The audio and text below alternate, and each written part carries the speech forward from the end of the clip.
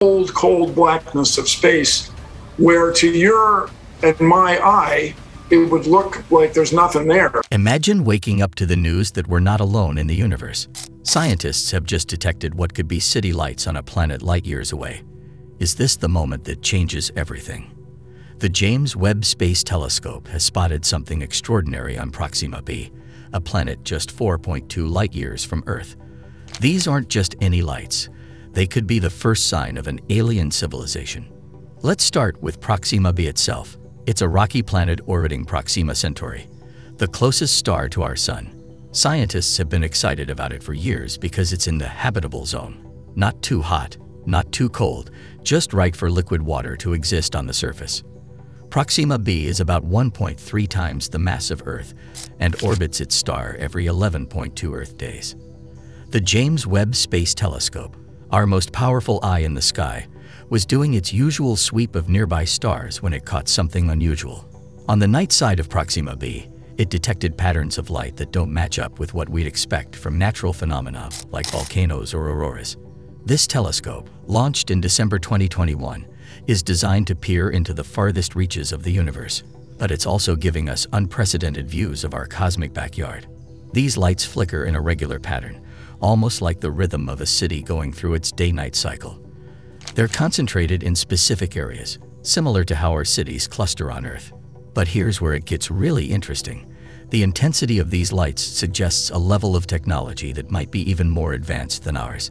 The patterns observed are not random. They show a regularity that's hard to explain through natural processes. Think about how Earth looks from space at night. You see clusters of light where cities are, with darker areas in between. The lights on Proxima b seem to follow a similar pattern, but with some key differences that have scientists scratching their heads. Now let's consider the implications. If these lights are artificial, it means we're not alone in the universe. It would be the biggest discovery in human history, changing everything from our understanding of biology to our place in the cosmos. Imagine the possibilities. A civilization that has solved problems we're still grappling with, like sustainable energy or climate control. We could be looking at a society that's thousands or even millions of years ahead of us technologically. But we need to be cautious. The history of astronomy is full of discoveries that turned out to be something completely different when we got more data. Remember the canals on Mars? In the late 19th century, astronomers thought they saw straight lines crisscrossing the Martian surface, leading to speculation about an advanced civilization.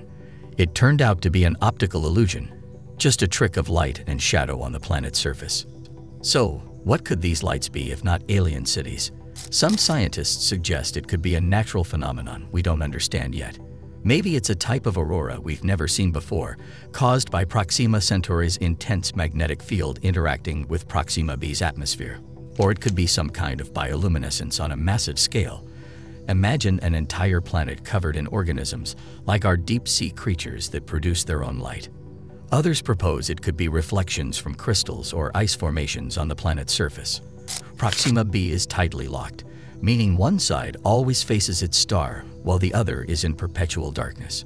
This could create extreme temperature differences, leading to unusual weather patterns or geological formations that might explain the light patterns we're seeing. The next step is gathering more data.